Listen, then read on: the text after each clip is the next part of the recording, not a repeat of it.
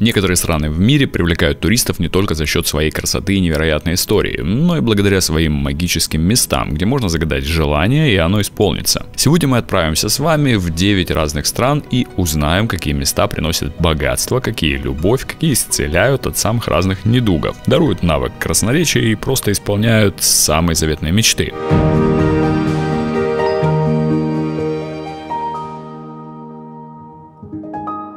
Фонтан Треви, Рим, Италия. Согласно поверью, если вы бросите монетку в фонтан Треви в Риме через левое плечо правой рукой, обязательно со спины, то вы точно вернетесь в Рим спустя какое-то время снова, а ваше заветное желание сбудется. Если бросите две монетки, значит обязательно познакомитесь с горячим итальянцем или страстной итальянкой. Если три, скоро будет свадьба. 4 монетки принесут богатство, а вот 5 уже кидать не стоит. Считается, что это к разлуке. Традиция бросать монеты в фонтан Треви восходит к 18 веку, и считается, что она произошла от древнеримского обычая бросать монеты в воду, чтобы сделать подношение богам. Традиция была возрождена в 1950-х годах после выхода фильма «Три монеты в фонтане», в котором фонтан де Треви занимал центральное место. В настоящее время фонтан является одной из самых популярных туристических достопримечательностей Рима, и миллионы туристов каждый год бросают в фонтан монеты. Монеты собираются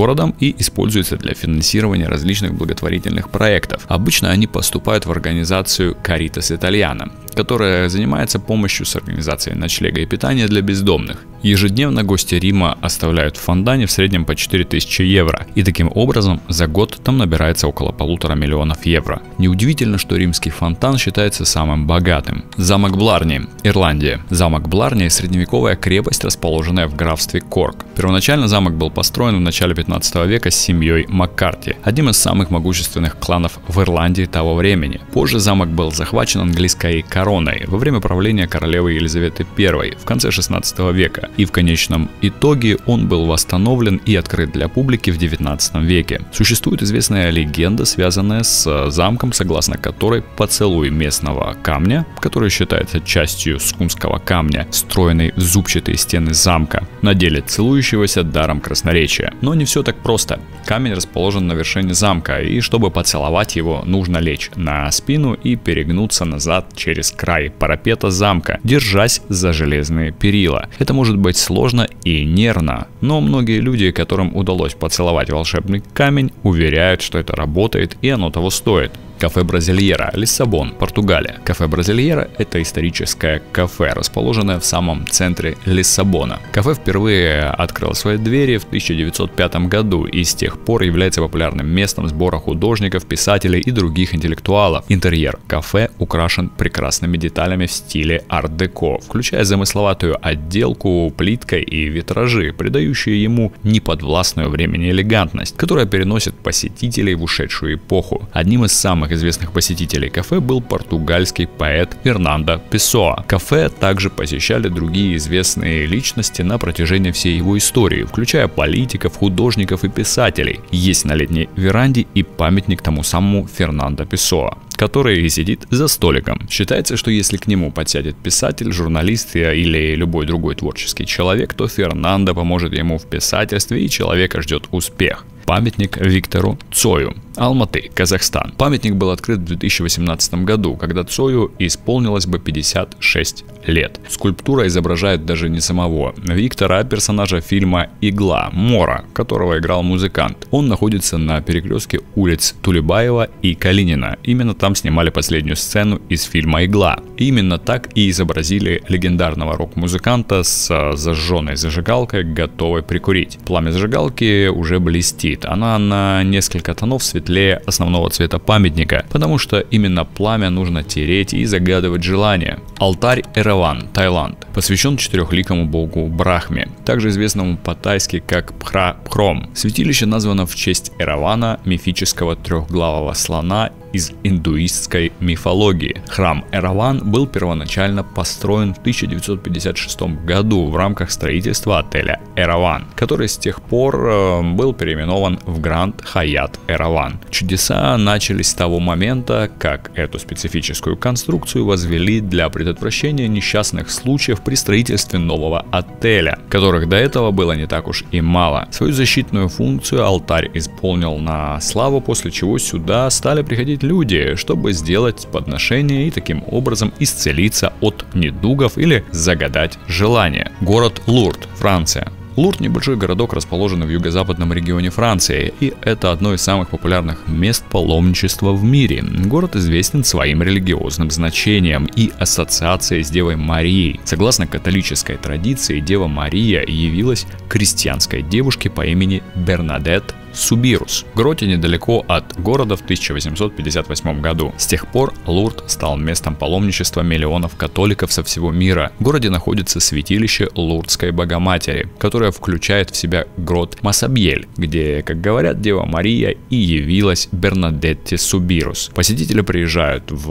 Лурд, чтобы помолиться, посетить мессу и получить исцеление от болезней. Одним из самых популярных занятий в Лурде является купание в воде из источника, который, как говорят, появился, когда Дева Мария явилась Бернадетте. Считается, что вода обладает целебными свойствами, и многие люди утверждают, что чувствуют себя лучше после купания в ней. В городе также есть ряд больниц и медицинских учреждений, которые специализируются на лечении людей с ограниченными возможностями. Фусими Нари Тайся, Киото, Япония. Это одна из самых популярных туристических достопримечательностей Киото, известная своими тысячами ворот Тории, которые ведут на вершину горы Инари. Инари. Святилище посвящено Инари, синтоистскому богу риса и процветания. Ворота Тории в Фусиме Инари Тайся выкрашены в ярко-оранжевый цвет и образуют похожую на туннель тропинку через лес, ведущую в гору. Посетители святилища часто проходят через ворота Тории и по пути загадывают желания или молятся у различных святилищ и алтарей. Считается, что Инари исполняет желания, связанные с процветанием, плодородием и успехом в бизнесе. Инари также ассоциируется с лисами, которые, как полагают, являются его посланниками.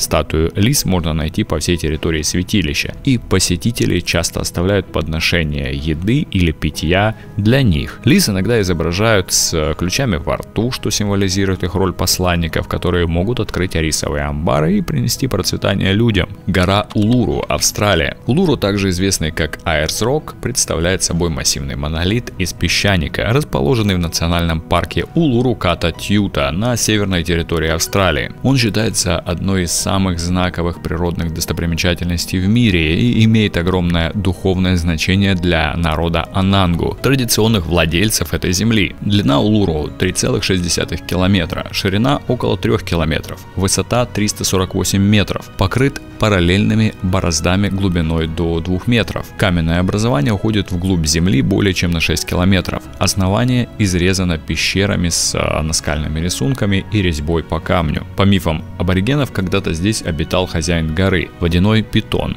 на крутом склоне жил черный варан. Аборигены считают себя хранителями священной скалы, совершают поклонения и проводят обряды. Согласно верованиям Анангу, местность вокруг Улуру пропитана духовной силой. Посетителей просят уважать культурное и духовное значение скалы и следовать определенным рекомендациям во время посещения. Восхождение на скалу запрещено из уважения к пожеланиям и культурным верованиям народа Анангу, а также по соображениям безопасности. Вместо этого посетителям рекомендуется прогуляться вокруг подножья скалы и осмотреть окрестности, которые являются домом для многих других священных мест и чудес природы. Одним из многих священных мест вокруг эм, Улуру является водопой Мутитюлу, бассейн с водой у основания скалы. И именно здесь посетители могут загадать желание или вознести молитву у источника и погрузиться в духовную энергию этого места. Ниагарский водопад, Канада. Или США. Одно из распространенных поверий гласит, что если вы загадаете желание, стоя возле Ниагарского водопада и бросите монетку в воду, ваше желание сбудется. Другое поверье заключается в том, что мощная энергия водопада может принести удачу и позитивную энергию в целом тем, кто его посетит. Некоторые люди также верят, что туман и вода из водопадов обладает целебными свойствами и могут помочь при таких заболеваниях, как артрит или астма. Хотя эти верования научно не доказаны. Они стали частью фольклора окружающего Ниагарский водопад и усиливают привлекательность и загадочность